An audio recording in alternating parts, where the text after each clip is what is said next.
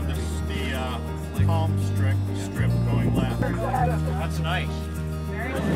2014 marks the 27th year that we've been doing the Stellwagen Bank Christmas Bird Count. We are now recording birds, and so I'm recording the time, species, number of individuals, their behaviors, or are they flying, are they sitting, association with a vessel or with a marine mammal.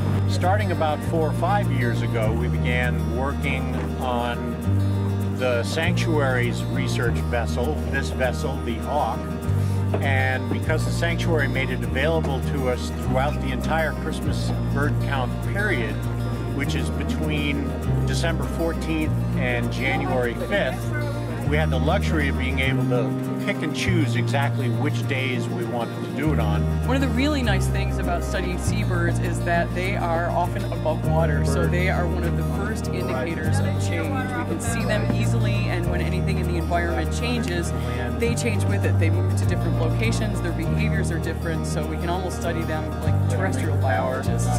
So they are a great indicator barometer of change in the sanctuary environment.